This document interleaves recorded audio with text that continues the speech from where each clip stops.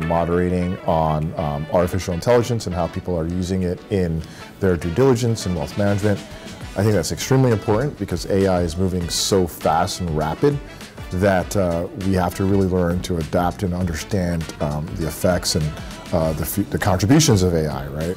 a lot of us are, are afraid of AI. We don't know what it is. And I think that uh, uh it's very important right now to really understand what AI really is and um, how it can help you make better investment decisions in the future.